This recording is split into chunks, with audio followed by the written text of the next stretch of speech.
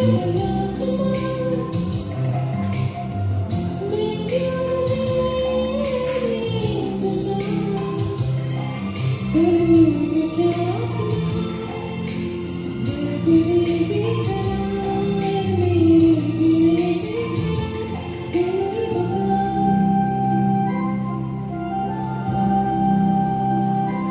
that song especially went out to Anil and Nikunj who are celebrating your anniversary. Thank you guys for choosing Escapade to celebrate this special day of yours.